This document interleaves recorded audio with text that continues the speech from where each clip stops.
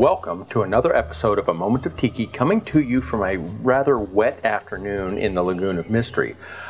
I've never done a rum review before or tasting here on A Moment of Tiki. That's because I don't feel I have a developed enough palate uh, to effectively uh, uh, evaluate and discuss uh, most spirits. Um, I'm pretty good mixing them in cocktails and picking out the individual components in the cocktails and figuring out what works and what doesn't.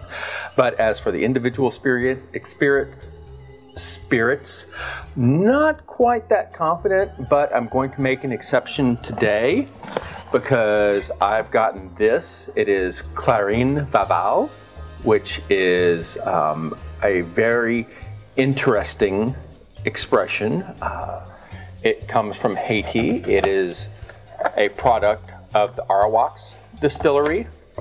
And lest you think that this is a big commercial bottling, it is not. Um, I love the artwork on here done by uh, Haitian artists.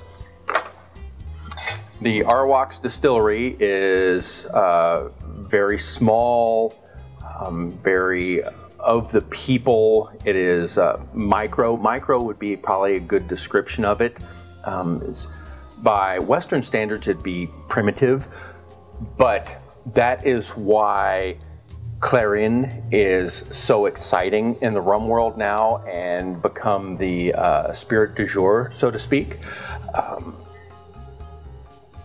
Clairins are often described as Haitian moonshine. That's because they don't have sophisticated industrial capabilities and, and uh, the quality control that ensures every bottle tastes exactly like every other bottle, every distillery run, every year, every season. Um, there's a lot of terroir expressed here. The sugarcane juice, when it is fermented, has a very long fermentation. Uh, usually these are open fermentations with wild yeasts. That means you have the environment surrounding them contributing very much to the flavors, the esters, the the congeners that come through in this. Um, in Jamaica, they would call it hogo. Um, I don't know what they call it in Haiti, what the French equivalent would be. But the end result is that every one of these small micro distilleries produces a product that is entirely different from every other product produced around the country and around the world because Clairin is very uh, much unique to Haiti. So, this is bottled at 48.7% alcohol by volume. And I will admit that I have tasted this several times before, and each time it's been a different experience. So I'm pouring a little bit into my snifter because I'm classy and stuff that way. Can, it's got a definite viscous quality to it. It has long legs. It hangs onto the side of the glass. And yes, this is what I remember. It's got a very thick, buttery nose to it, along with overripe strawberries. This is not something that I was expecting from a rum, no matter how rustic, but sniff a little more, and the strawberries kind of vanish. There's a little bit of briny salinity here. You can smell some of the alcohol, but it's not uh, necessarily hot on the nose.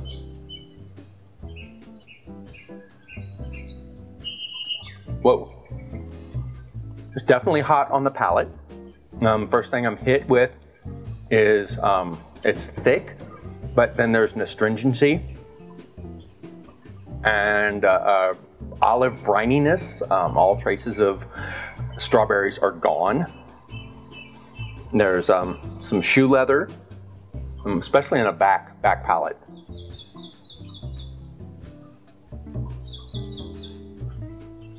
Peppercorns, sweet pickles.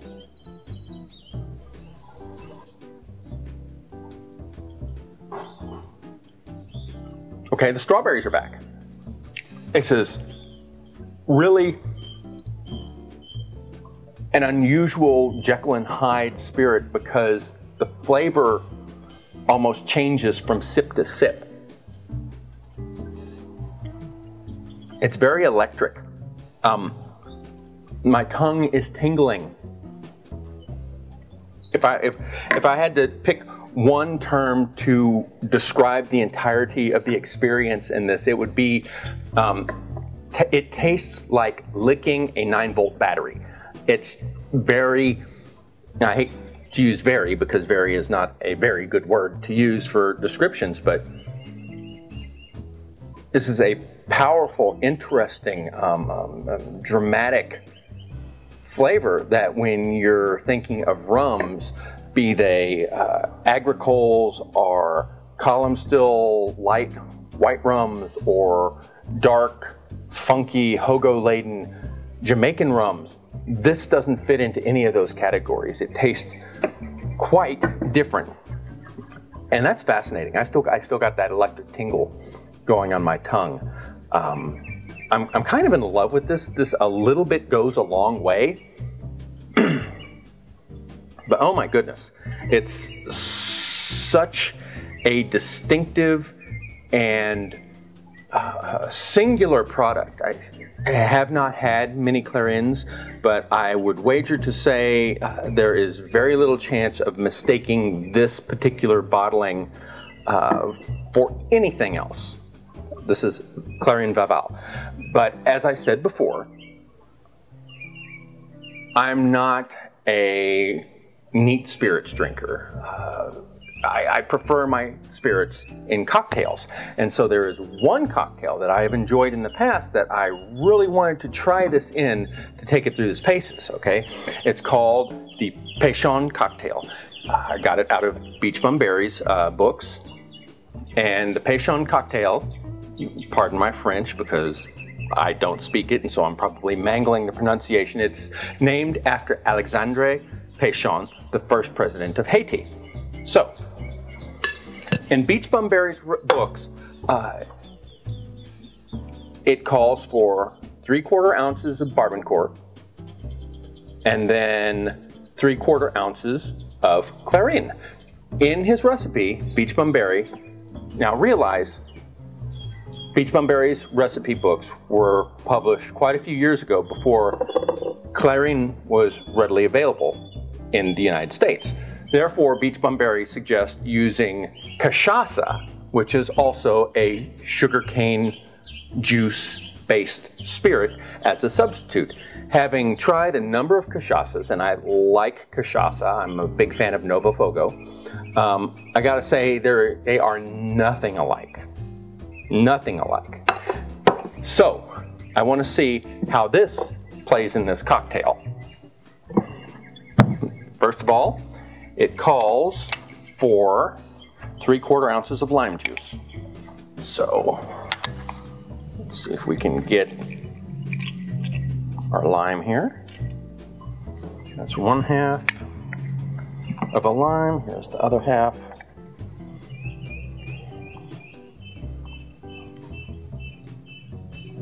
That's half an ounce, and we can get another quarter ounce out of this.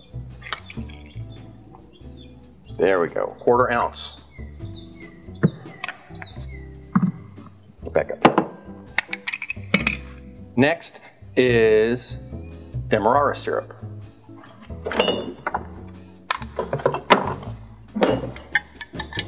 So, half an ounce of Demerara syrup.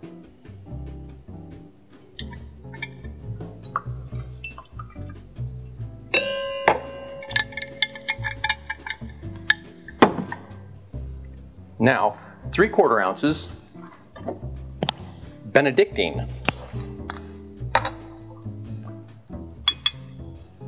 Benedictine is a spiced liqueur from Europe made by Benedictine monks, obviously. And it's not super common, but I found that I really enjoy tiki cocktails that in include it. Got a nice, distinctive, sweet flavor that brings extra dimensionality to cocktails. Barbancourt rum, three quarter ounces. I am using five star, which does not mean it's been aged five years. Go figure. This is eight years. Barbancourt is a delicious rum made from sugarcane juice in Haiti, but it is not an agricole. It is not produced by the same standards as agricole, and therefore does not have that grassiness that one would associate with agricole. Now, finally, Clairin. Now, Vaval will have a different flavor profile from other Clairins, so you can try it with different expressions of Clairin and come up with an entirely different flavored cocktail profile, which is kind of neat. And that's three quarter ounces right there.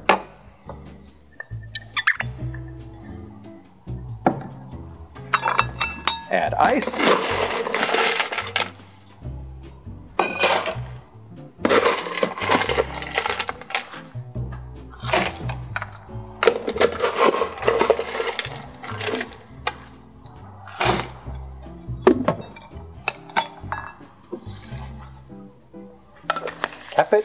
And shake.